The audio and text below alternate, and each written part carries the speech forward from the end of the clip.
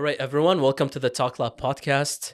Thank you for clicking on this episode. And uh, if you haven't joined the Talk Lab podcast yet, I don't know what the heck you're doing. It's uh, season two right now. welcome. Click that subscribe button and uh, you know check us on other platforms such as Apple Podcasts, Google Podcasts, Anghami, and Spotify. And if you want to check our social media, feel free. Links are in this, the description. Today with me, I've got a dear friend and such an inspiring story. Brandon Peacock, how's it going, bro? Going good, man. Thanks for having me on. Okay, thank you very much for being here. Um, just to hit it off, you know, from the top, um, what the heck were you thinking? like when, like, literally, You- you it took gotta you a year between getting shot to Yeah. running a marathon, which we will get on later on uh, this podcast. But uh, that's literally my that was literally my first question when I met you Yeah. originally. I was like, "What the heck is this guy? Was this guy thinking running a marathon after a year of after a year of getting shot? Like, it is it is something, such an inspiring story. And uh, I'm just gonna come clear here. Um, it did inspire me. Uh, at the time that I met you, I was I had stopped going to the gym and like not doing anything uh, for pretty much like four or five months. And then I met you and I was like, no, I, I gotta do something. so a week later, I ran two kilometers, which was nothing, but uh, Dude, you know, I got back 2K into still, it. It's, it's, it. It takes time to build up. That's Exactly. great. Just getting out there is the first step. Right? Exactly. So to be honest with you, first of all, thank you very much Dude, hey, for inspiring me and others. Yeah. Hey, I'm, I'm happy to do it. I think that's like, for me personally, it's it's never really the goal, I, I think, but it's a it's a really, really nice thing that comes out of doing some of the stuff that I've been doing. And I, I think that's fantastic. And I'm, I'm really happy to hear that that inspired you. Thank and, you. uh, you know, all of you guys kind of inspire me by rallying around me too, right? In so many different ways. Like I know we I talked about it on Deep Show, but like seeing what you're doing, taking your Saturdays, filming podcasts, trying to grow your own business, your own network, that kind of stuff. That inspires me just as much as you know me running my marathon might inspire you. So seriously, I I, I love what you're doing here. Thank you very much, man. Well, you know, let's get into it. Okay. let's get let's get into it. So, uh, um, about a year ago, you did get shot in Ottawa Three times. three times. God damn it. And just to say it again, in Ottawa, Yeah. the most boring place on earth, You, you, you The- never think it's gonna happen here. dude. It's the last place that I would think that would happen. Like, it's not Yeah. like as we were talking previously about like shit that goes on in the Middle East. Mhm.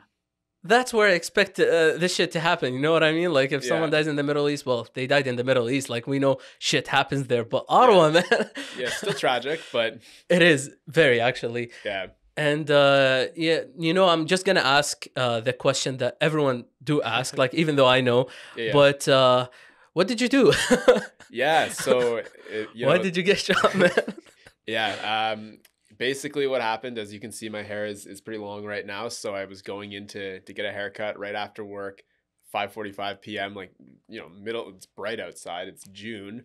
Um, and walking into my barber shop, a car pulls up and opens fire on the shop. Um, I happen to be the back of three people running inside. I guess one of those three happened to be the target of the shooting. He saw everything coming and got out of the way first, um, naturally, because he was aware of the situation before us. Um, the second was the owner's wife who was holding the door open for me because of COVID protocols, right?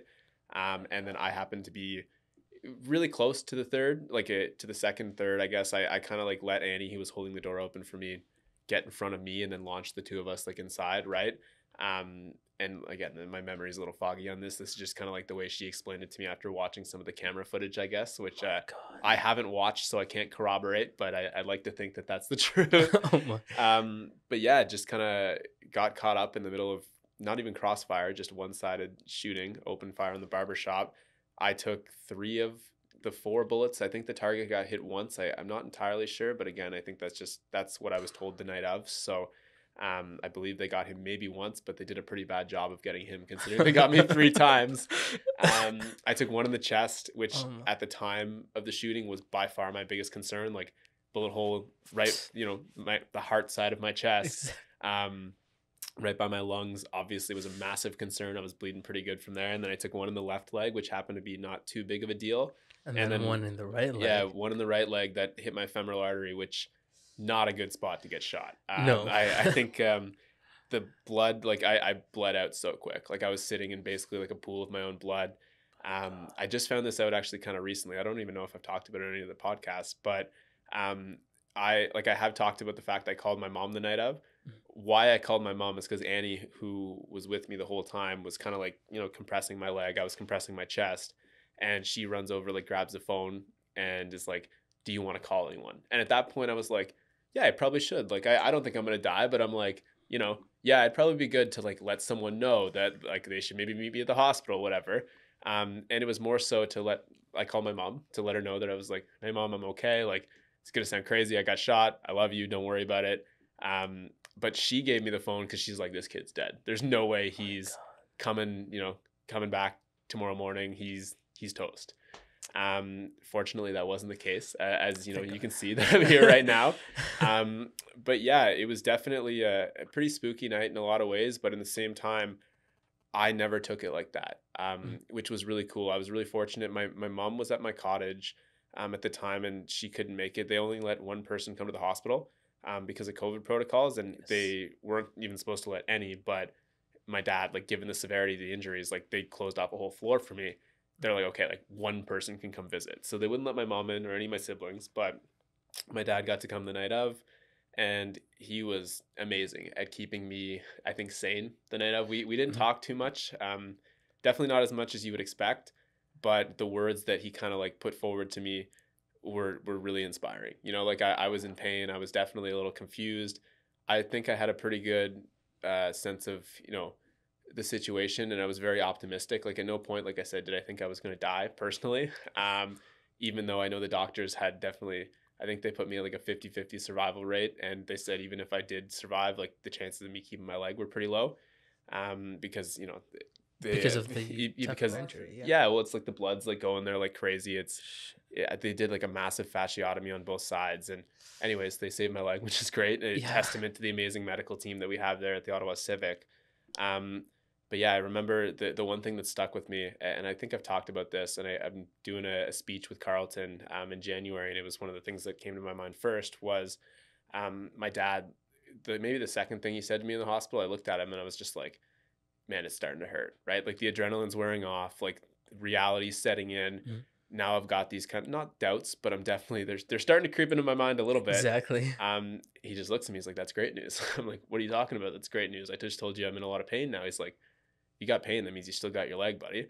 And I hear that and I'm like, everything after that didn't matter. There was no like, it was, I'm going to be okay. There was no more doubt. There was no more self pity. There was no more feeling sorry for what had happened. It was like, you know what? You're right. The perspective entirely shifted. And I don't know. It, it was one of the, it, it was the craziest night of my life. I, I wouldn't say it was the most pain I've ever experienced in my entire life because the adrenaline was high. Rehab was really hard. Um, there's a lot running my marathon was really painful as well. Um, but it was definitely the craziest experience I've ever personally been a part of. And I, you know, I, I wouldn't wish it on anybody, but uh, definitely not. yeah. Um, it, it, was definitely a, a, unique situation for sure that, that, you know, shaped my entire future. So I, I, think about it all the time. It's still very fresh on my mind, but um, I'm really fortunate that everyone involved that night, like Annie first on scene, you know, applying pressure to my wounds. The cop that got there was there in four minutes. Had he been four minutes and 30 seconds, I was dead. Oh um, oh God, I was yeah. told like they got a tourniquet on my leg right away, stopped the bleed out, threw me in an ambulance as quick as I could. I was at the hospital 25 minutes after everything happened, um, maybe even sooner. Mm-hmm. In surgery two hours later, and fortunate to wake up um, after an, I think an eight eight and a half hour surgery. Um, so amazing, you know, amazing medical team, amazing paramedics, amazing police officers on scene. Everybody did their jobs right. Exactly. And that's when people talk about they're like, it's wrong place, wrong time. Like I, I, feel so sorry for you, all this stuff. It's like, don't feel sorry for me. Feel happy for me, right? Like like I'm alive I, now. yeah, I had one shitty, shitty situation, and then I had ten more amazing things happen that yes. night that allowed me to preserve a, you know, I think a really good quality of life that I still have now, even with some long term kind of ramifications, mm-hmm. everything else went right. And I, I, think you could focus on the negatives of that night and, and yes. dwell on them and let them kind of ruin your life. Or you can sit back and take that perspective my dad instilled in me right away and realize, like, you know, it could be a hell of a lot worse, right? Um, and just kind of be happy that you've happy for all the blessings and, and the good that really came out of it. So yeah, that, that's kind of like a, a synopsis of the situation. There's so much more stuff, and I'm sure we'll get into it. But that's like yeah, a of bit of an overview of the night of what my feelings were like the night of, and you know everything that kind of immediately came to mind for me. dude you're hitting you're hitting the right the right points that i actually want to talk about and uh, mainly at first i want to talk about how difficult it was for your parents to to deal with that because like you know i mean i can i can relate to my parents and how protective they are of me Yep. um if if that actually happens or if they get like anywhere close to that call Mhm. they would lose their minds you know what i mean like it's it's not an easy call to receive randomly you know you're just you, your son just got shot you know what i mean it's just not an easy thing I would rather bad. be I would rather be in the, my position than my parents' position. Yeah. Um, and I've I've thought about that a lot, and I, I don't even think it's close. Um, like for me, at least the night of, even if I had died that night of, I was in control in every way that I could be. You know what I mean? Like Yeah. I was I was I knew how I was feeling at every second. I knew where my responses were at. Um, you know, I, I was present for all of it. Whereas my parents, there's so much uncertainty, right? Like my dad got to see me for one hour, whatever it was, um, not that long before surgery. My mom didn't even get to see me other than that phone call where we couldn't even really reciprocate conversation. It was just me saying, Hey mom, I got shot. Don't don't worry about it. I'm gonna be okay. But like I wanted you to hear it from me. Um, and the police like took the phone because obviously they don't know who I'm calling, what I'm doing. Exactly. Um, you know, it's the right decision from them, of course. Um, but I think it's so much scarier. And it wasn't just the night of, but it was the entire recovery process, right? Mhm. Um, again, I knew that had I had the opportunity to bounce back, I was going to take it and I was going to do every single thing I possibly could to get there. Um, and they they have no idea, right? Like they're not in my head. They're not no. they don't know how my body feels. They don't know all that stuff. There's just so much uncertainty.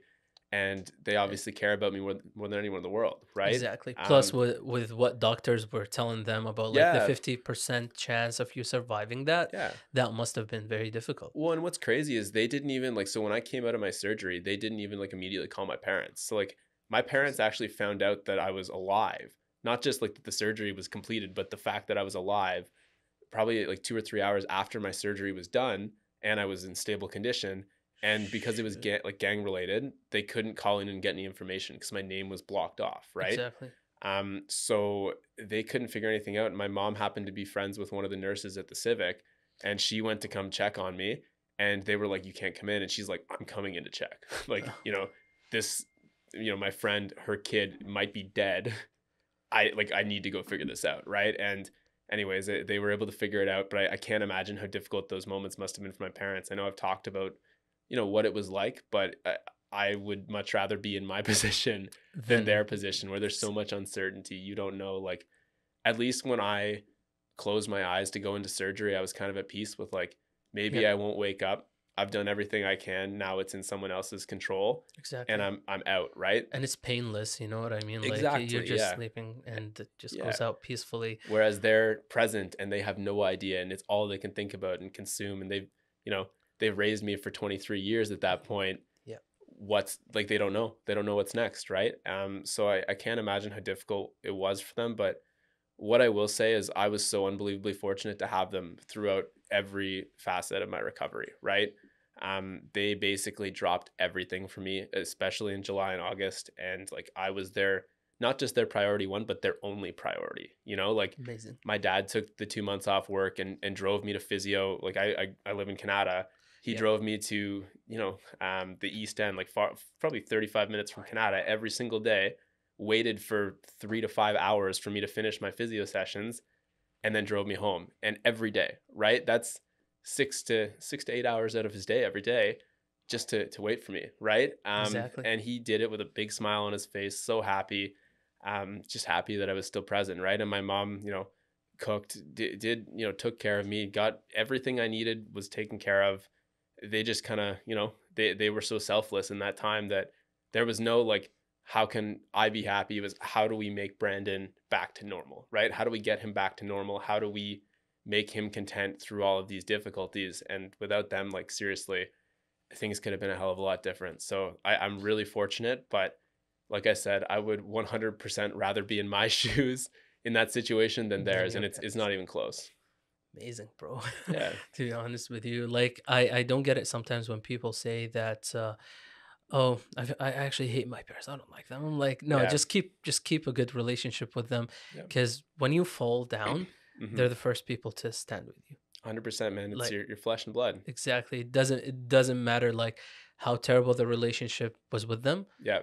The moment you fall down, they're gonna be there. Well, it's funny, man, and like I, I actually haven't talked about this too much, and uh, so me and my brother, we we were like super super tight growing up. I, I loved the kid to death, um, and we definitely drifted apart a little bit in our early twenties, and that's like you know there was no like resentment or anything. Like we were still family. I still loved seeing the kid, but we just saw each other less. We were a little, you know, a little further apart than we ever really were. I And mean, then after happens. everything, everything came back. You know, it was like there was no like he I, he was the first person I wanted to see after I could see my parents. You know, like yeah, I would have loved to see him at the same time, obviously, but he was like, you know, everything that you might ever have disagreed upon or every reason that you maybe drift apart seems so trivial when you go through something like that. And it, I think it brought us all a lot closer together as a as a family and a collective. And in a weird way, like like I said, there's so many reasons I'm thankful for what I went through, and that's one of them as well, right? I think how big it how big of an impact it played in, in bringing our family back to the tight knit family we really were growing up. I thought it was really cool for sure. Exactly. Amazing, bro. And like when you woke up after the surgery in the hospital, and uh, I like to talk about this stuff because I've spoken to other people who's been through trauma or been through surgeries, and uh, the biggest thing that I hear about is like how, um, oh my god, how they feel like that they're not in control. Like hmm they can't like your body just you know it's just something that you can't control and it's just i i don't know like i can't i can't imagine that like being in that place to be honest with you um especially if you're like if you're like a person who plays sports a lot and you know you're used to being like so strong and all of a sudden you're just like hit with that weakness and you Yeah. can't like you, you think that the strongest thing that you had is the, your biggest weakness right now Yeah. ironically enough like Yeah, I so I dropped 30 pounds in in Right. the hospital um like the day after. So I went in there like my weight is usually around 195 and I was I think I weighed in at about 167 um the day after everything. So I was I was Shoot. definitely pretty weak. Um and I couldn't get out of my bed. So like I like when I say like people are like, yeah, I broke my leg and I couldn't move, but like they could get up on crutches, whatever. Like I'm talking I was laying, you know, directly horizontal for probably eight days, unable to move because all my ribs were broken. I had a bullet hole in my, I guess it kind of hit my like upper chest collarbone, um, and through my back, like my lat. So like fortunately, it missed my, it bruised my lung, but like bruised lung, whatever. All things considered, exactly um, ribs were all broken though, so I couldn't really breathe too well. I couldn't like move much up and down.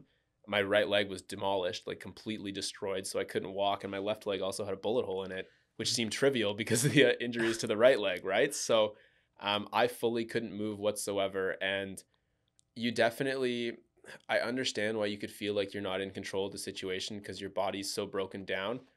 I took it and and I focused on what I could control, and I think that was something that gave me a lot of power in my recovery.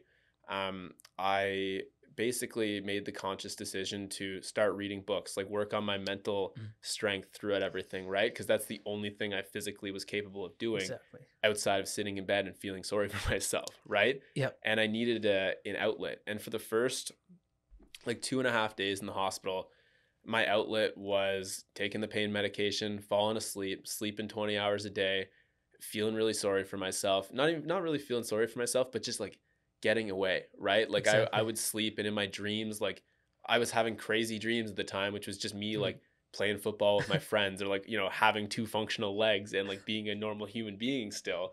So I'd want to like es- escape, whatever. And then on like day three, I, I basically was like, this is insane. This is a crazy way to live my life. I get that you can't move. And, you know, I get that you want to feel sorry for yourself, but you got to stop. Like Exactly. opioids, whatever, it's not the way out. You need to start taking accountability, even though the situation is not your fault whatsoever. You need to understand it doesn't matter whose fault it was. You need to start focusing on your recovery and getting past it, right? Um, so, like I said, I shifted to reading books. The first book I actually read Um, yeah, I don't know if you know Mike Majlak. He's like Logan Paul's buddy. Mm-hmm. Yep. Um, but he Yeah, wrote a really course. yeah he, he wrote a really good fan. book called The Fifth Vital. Um, Yes. talking I don't know have you read it? yeah. uh, Well, I didn't read it. I know what the book is about. uh, Okay. about his recovery from Yeah. actually drugs and uh, yeah, the use of drugs. Yes. So I think it was like a ski accident or something. He, Yes. anyways, he was in the hospital, started taking opioids because of you know this this injury he went through that was pretty painful, Mhm. um, and then became dependent on them. They shaped his entire life. They they caused him a lot of problems and a lot of grief. And I read that book as the first book I read in the hospital because I wanted to reinforce that narrative in my mind. Like you don't need this. This is a bad route to go. The pain is gonna suck you you know like you, you know the pain's gonna suck but then it Exactly. kept the, the words my dad kept telling me kept ringing through right pain's good pain means you got feeling pain means you got a leg pain Exactly. means you're alive enjoy it right um and i just kind of i really focused on shifting the narrative and instead of worrying about you know my body and all these things that i at the time couldn't really control i focused on my mind and and feeling better and being happier and i think i did a really good job of that and i think that made my recovery a hell of a lot better um that that kind of positive outlook that i took on it for sure Interesting.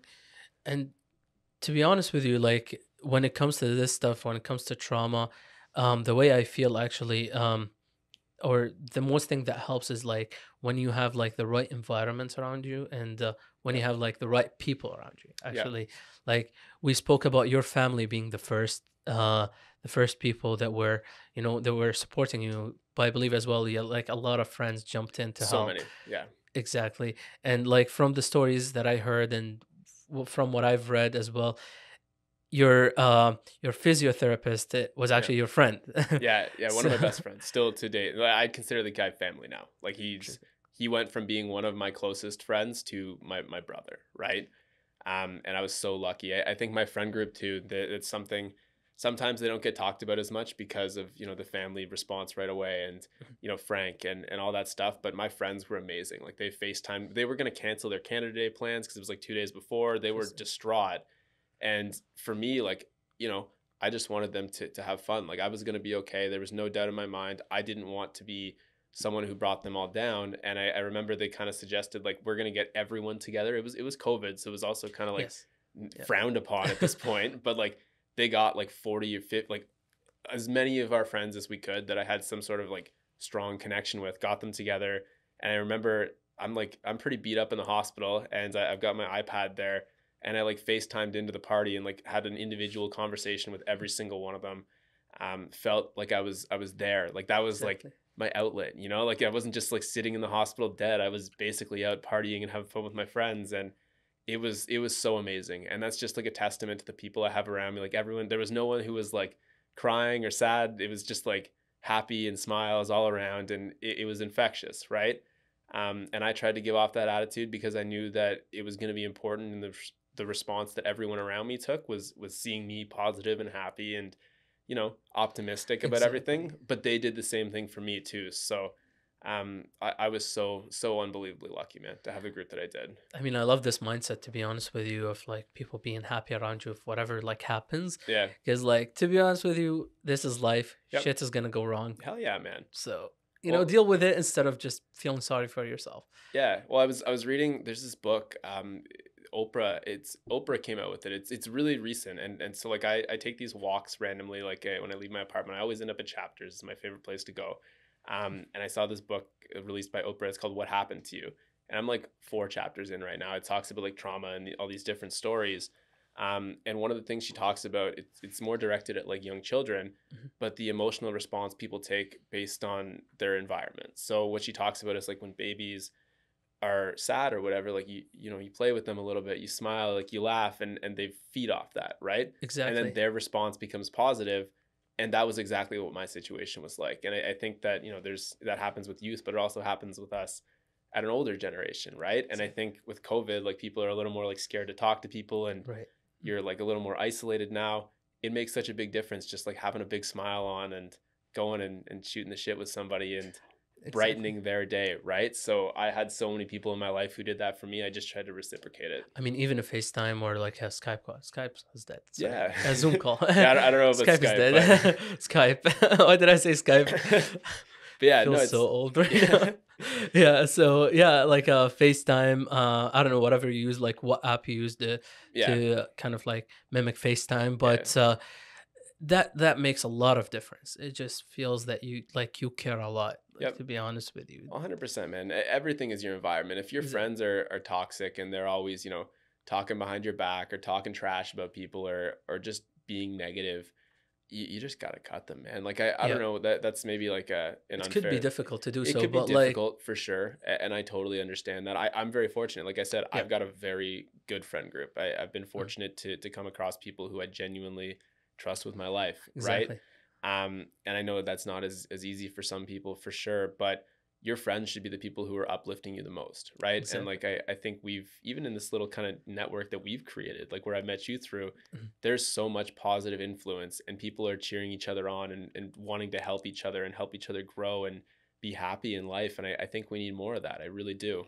Exactly. Like actually like the first thing that pulled me to this network actually like is the smiles and the Yeah. positive energy that flows around in this like in this small network. Like it's not Yep. it's not that big of uh you know of a group but like Yep. it is hell of a great one to be honest with you. Yeah. I love that I love that energy that flows around. Like It's I try I try yeah, I try I try to, you know, give as much positivity as, as I can, but I can be boring most of the time, which is very funny. I, I'm very similar, man. I I feed off of the guy, the group around Yeah, me big time. I'm- exactly. I'm, very much like you, I think, in that space.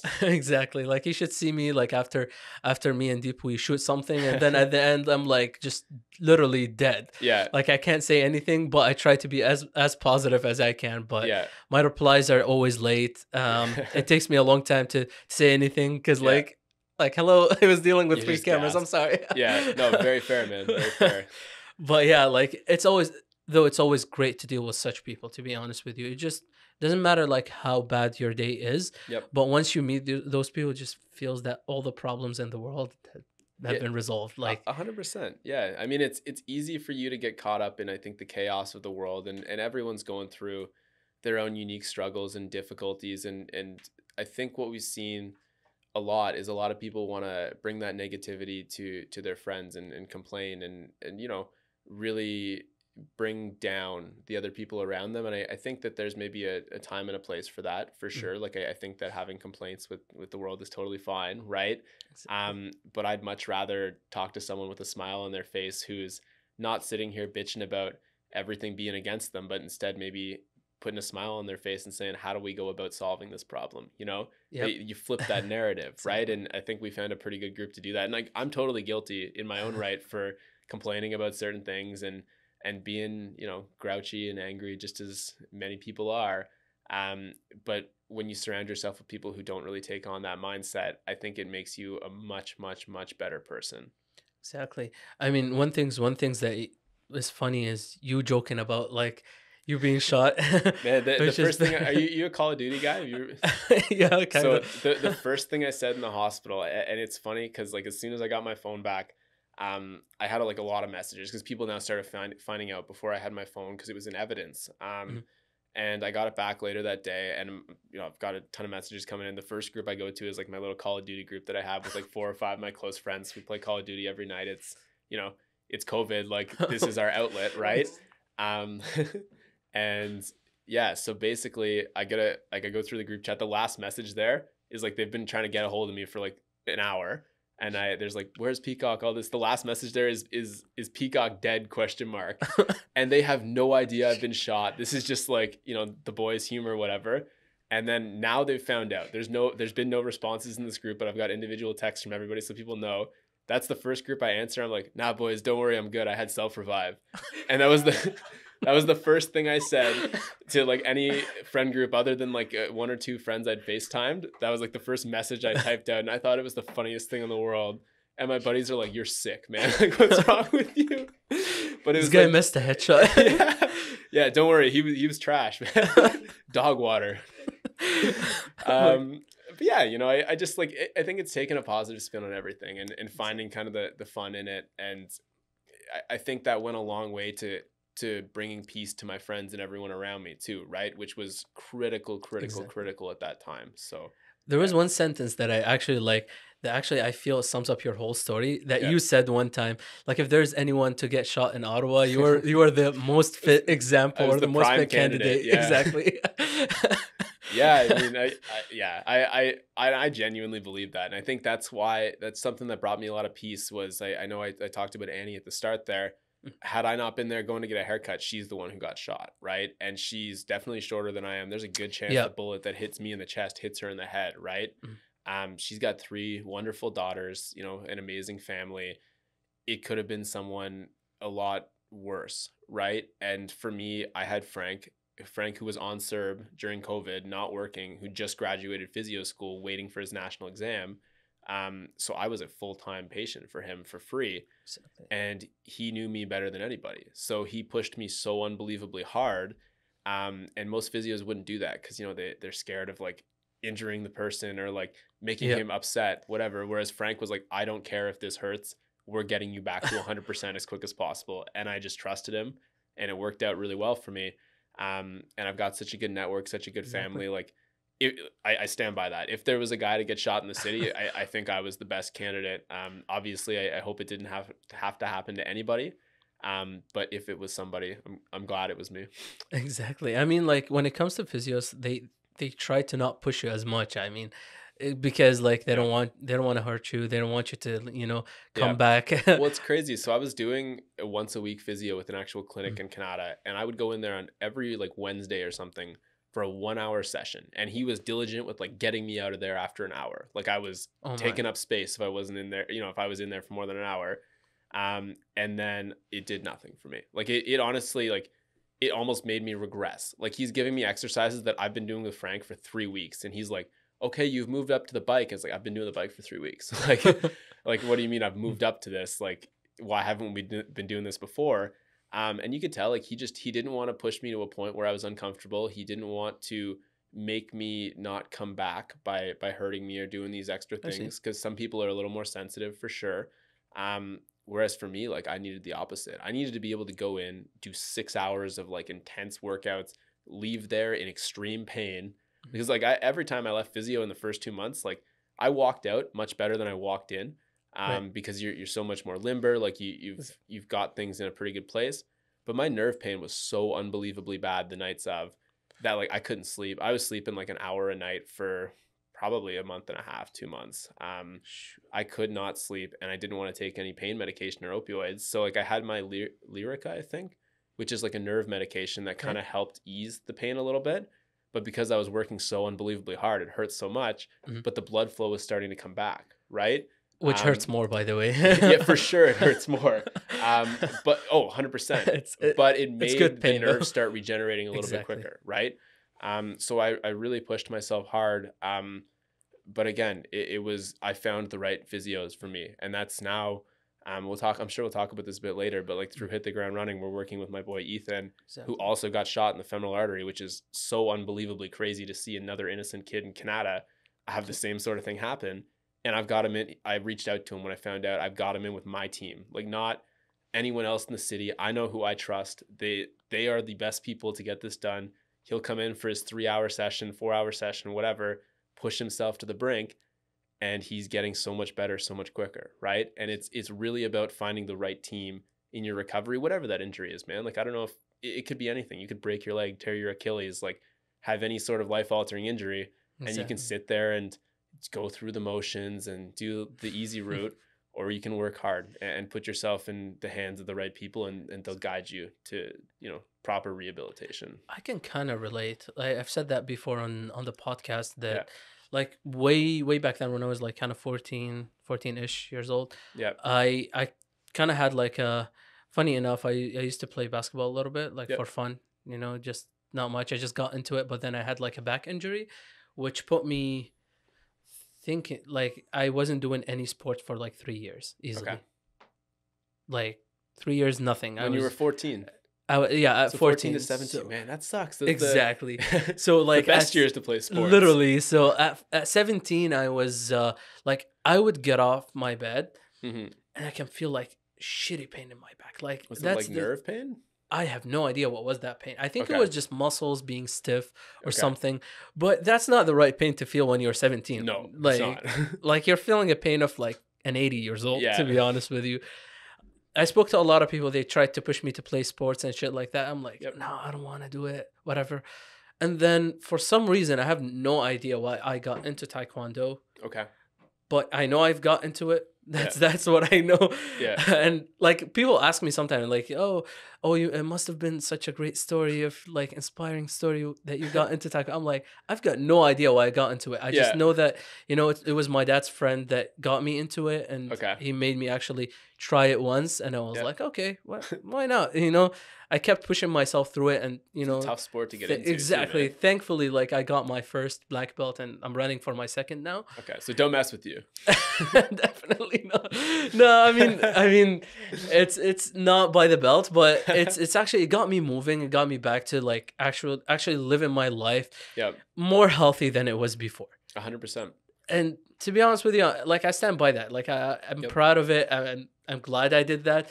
So that's why I can I kind of relate to your story. It's not the same trauma, of course not, but it is Everyone something. Discounts it. It like is it's, something. It's, it's all relevant. Ser- Exactly. Seriously, and I, I think you're drawing a lot of parallels to what I went through Yes. too, right? Like I, my entire landscape of the way I live has been shifted to focus on a more healthy lifestyle, right? And, and take care of my body a lot better than I would have had to before. And I think now I know there's a really good chance. It's almost guaranteed that I'm gonna have some sort of like pretty bad arthritis in my right leg at some point. Like there's gonna Mhm. be long term issues for sure that I'm not seeing the impacts of as much right now that I will down the road.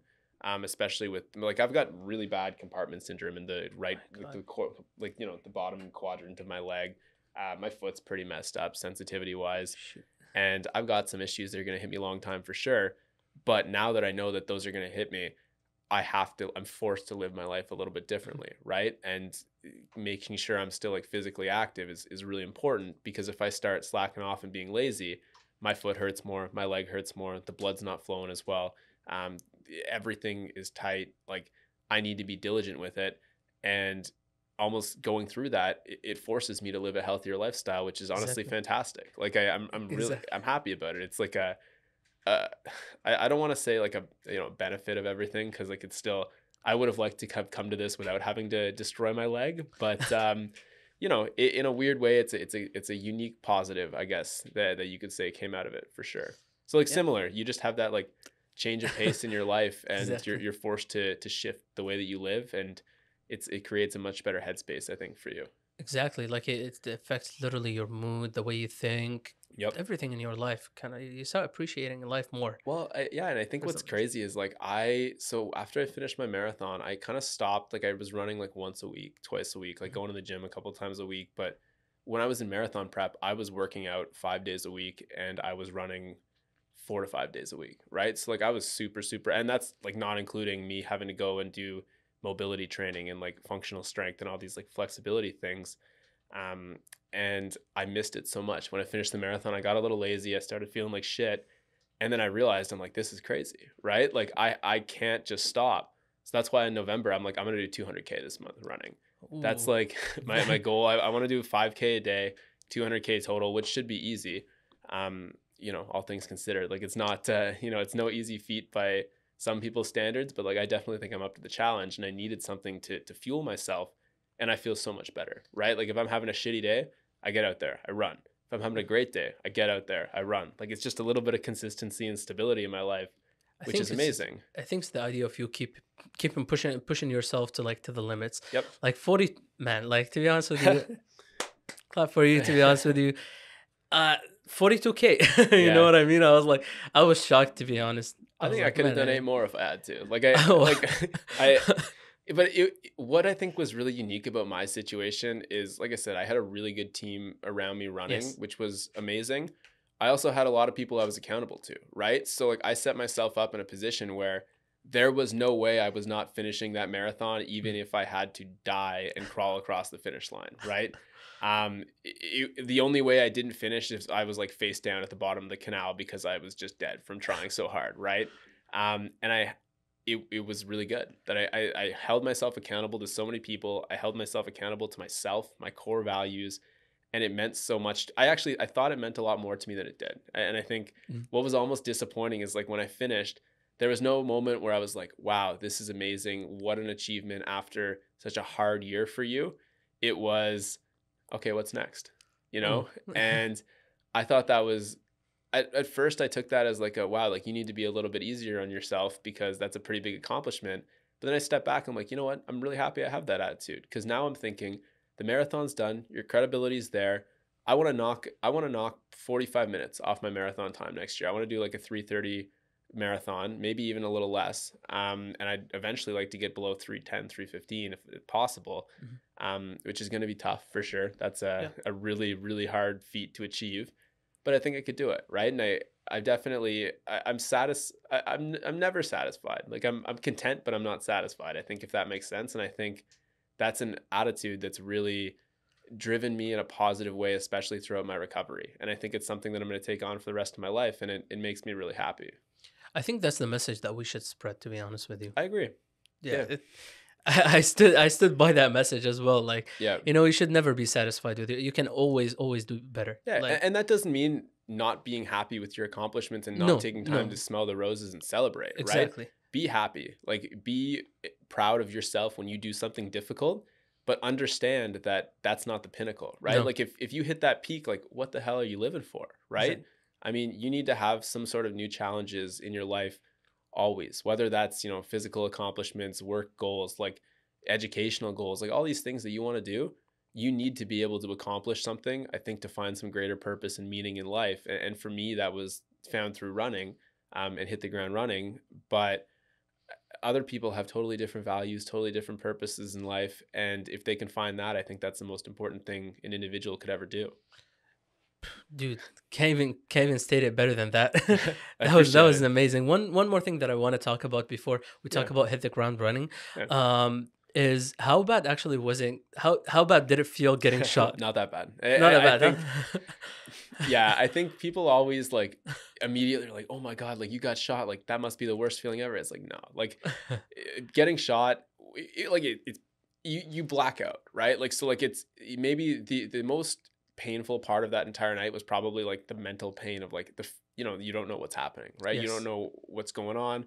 The physical pain is bearable. I mean, it, everyone's got different pain thresholds, so I, I don't know. Other people might have different recollections of their experience than I did um but you have so much adrenaline you're you know you're so jacked up that you don't really notice the pain too too much like there's points when the tourniquet's been on my leg for an hour and a half the adrenaline's wearing off that it, it hurts for sure um the most painful part though was by far physio and it's not even Yep. close like we we pushed so hard like there was days like my leg like it was basically like this permanently like i couldn't move it like i couldn't it was oh, it was stuck and like frank would take it at physio and he would take it and just bend it all the way back to my you know my butt I can't even do that now, just for perspective. But he would just push it that far when it was that stiff, and it was. And I don't don't forget, I I had bullet in my leg still at this point. So like he's like pushing down on bullet fragment in my leg. There is Ooh. full blown. I don't know what it copper whatever it is. He's pushing that shrapnel further into my leg while bending this thing back. So I've now got shrapnel piercing my skin and like my inside of my leg. Uh, everything's being stretched. It was by far the most pain I've ever had in my life, but it got me recovered way quicker, right? exactly Um, so I think, you know, pain is pain, but I mean, living is worth it. exactly that that was actually good uh what did put actually what did push you to start uh hit the ground running yeah, hit the ground running is something I, I I thought of the idea and the concept while I was in hospital. Um, and I think the biggest reason I did it uh, initially, and I think the the reasoning kind of shifted, but from the start, the reason I started hit the ground running was I wanted to find some purpose for honestly maybe a little bit selfish. Um, I wanted to find I didn't know that I wanted to do exactly what I'm doing, but I wanted to find some purpose for going through what I'd been through, right? Mhm. And I wanted to find a way to give back um, through my story and do something I think that could inspire some others, like we talked about earlier. Yep.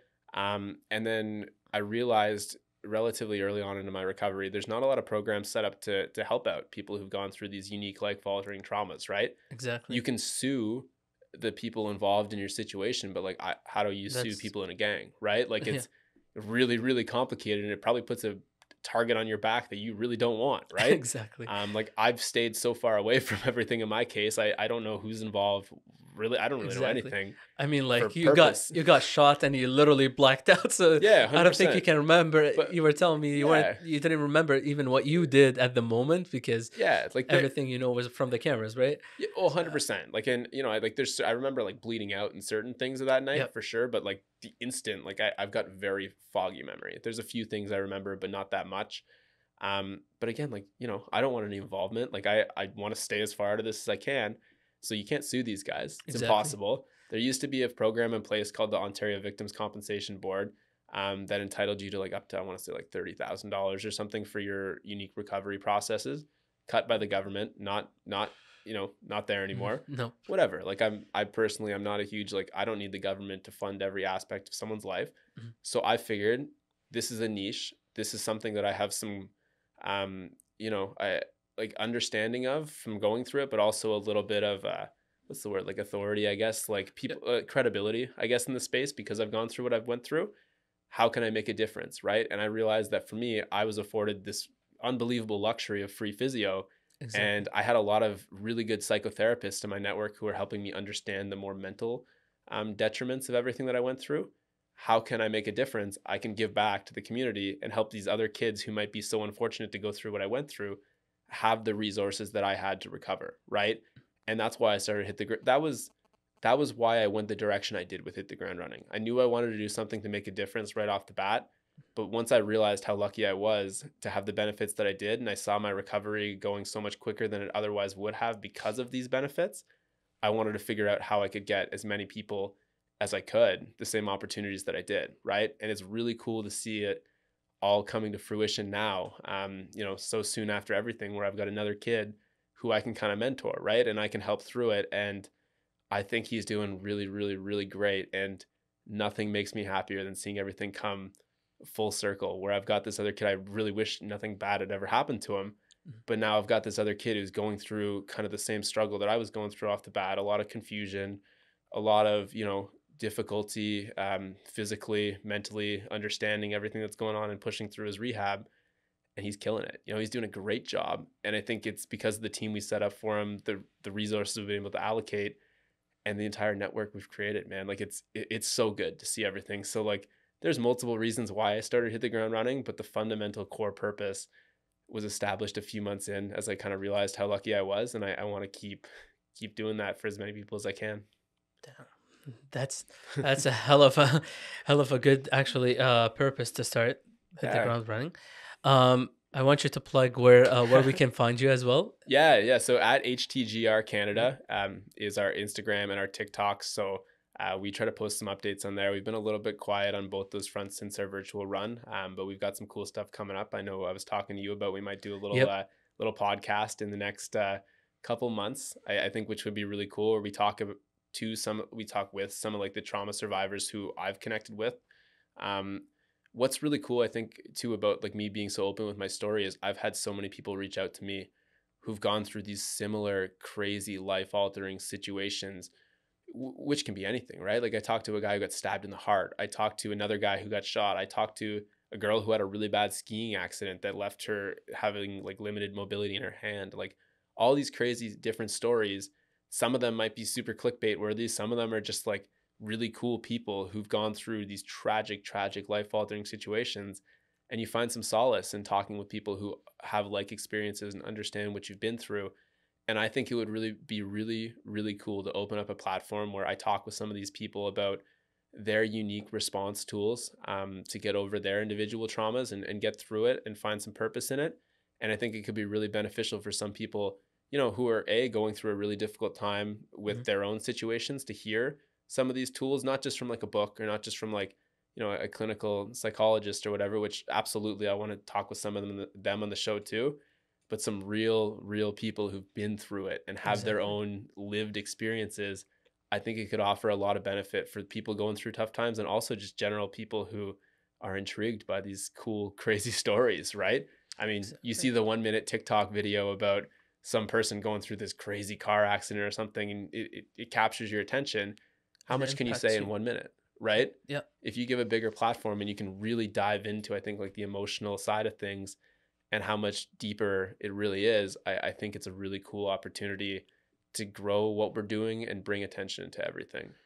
and it has like a big impact on people to be honest with you like it doesn't like it doesn't even have to be people who actually who's been through trauma Yep. and it could be just a normal human being that is like going through something right now Yep. or is going to go through something it just prepare them for this stuff Yeah. to be honest with you hearing these stories Yeah, well, and I think it's inspiring too, right? And that's like, I, I know at the start I, I said that I, I, you know, I'm happy that it was a result of my circumstance that inspired you, but it wasn't necessarily my goal. Mhm. And I think that's one kind of maybe mind like shift of narratives that I've thought about in the last little bit, where I went through a big phase where it's like, I don't want to be like a Tony Robbins. Like, I don't want to be this like crazy guy who's using his story to like inspire people and all this stuff. But I, I think I've kind of shifted on that where I've realized there's a lot of power in my unique recovery and, and what I've done. And if I can use that to, to motivate some people to find the tools in their own lives to become the best versions of themselves, that would be the best thing that I could ever do in my life, right? Exactly. Like nothing would ever make me happier